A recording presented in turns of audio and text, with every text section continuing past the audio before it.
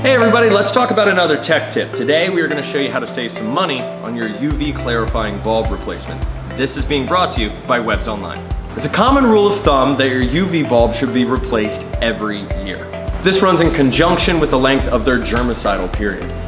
But if you live in a climate where you're turning your UV clarifier off for 50, 25% of the time or what have you, it's very important that you add that time back the life of the UV bulb. It doesn't have a shelf life unless it's actually being used. So that's a great way to not throw money down the drain. If you're only using your UV clarifier half of the year, it's good for twice as long.